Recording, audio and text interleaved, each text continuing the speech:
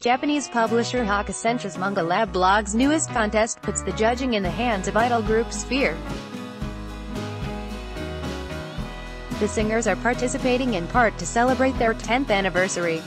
Contestants will need to submit a manga of at least four pages focusing on the theme Best Friends. Sphere members Minako Kotobuki, Ayahi Takagaki, Haruka Tomatsu, and Aki Toyosaki will choose the grand prize winner.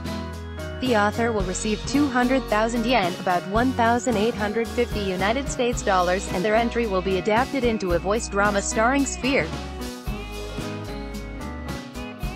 Sphere has performed multiple anime theme songs including the fourth ending of Zoids Wild, the opening for the two-car racing anime, the ending theme for Bakuman. 3, and more. Hakusensha launched its Manga Lab blog for aspiring manga creators on March 1. Source, Comic Natalie Let's Block Ads.